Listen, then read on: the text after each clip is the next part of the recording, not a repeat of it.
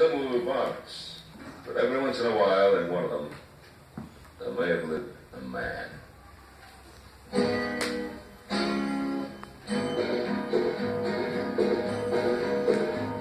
He lay face down on the desert sand, with the clutching six gun in his hand.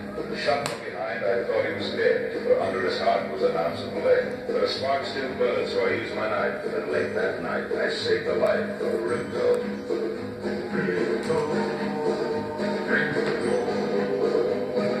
I nursed him till the danger passed. The days went by, he made it fast. Then from dawn till setting sun, he practiced with that deadly gun. And hour on hour I watched in awe. No human